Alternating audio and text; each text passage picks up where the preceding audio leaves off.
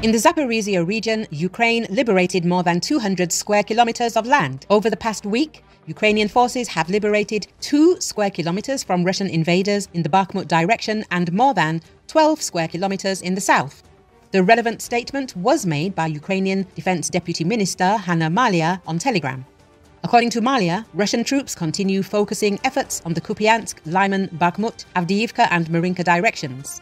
Fierce battles are underway, Last week, in the above directions, over 170 battles took place between Ukraine's defense forces and Russian soldiers. In the Kupiansk directions, Russians were storming and seeking weak spots in Ukraine's defense. They were actively conducting offensive actions to the south of Novo Selivsky, trying to push Ukrainian units beyond the barrier frontier of the Oskil River, but had no success. Our defense forces are strongly holding back enemy troops, Maliar stressed.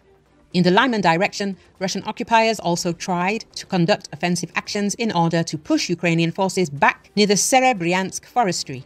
All the enemy's actions were unsuccessful. In the Bakhmut direction, last week, Russian invaders were making every effort to stop Ukraine's offensive, but the defense forces were gradually advancing. The total deoccupied area in the Bakhmut direction is now 37 square kilometers. Two square kilometers have been liberated from Russian invaders over the past week. In the Avdiivka and Marinka directions, Russian troops were focusing efforts on conducting offensive actions in order to establish full control over Marinka and encircle Avdiivka, but had no success.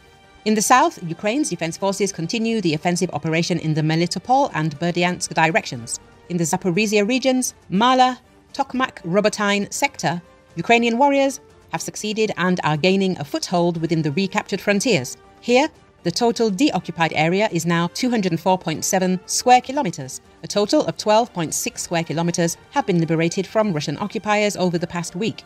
Demining efforts continue in the aforementioned areas.